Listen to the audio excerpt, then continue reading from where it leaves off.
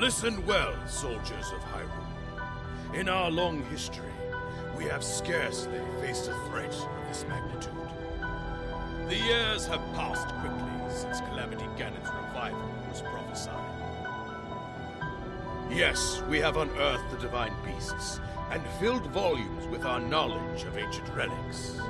But a barricade of books will not protect us. Way surges a horde like we have never faced before. Even now, the enemy is clawing for our throat. For Hyrule Castle itself.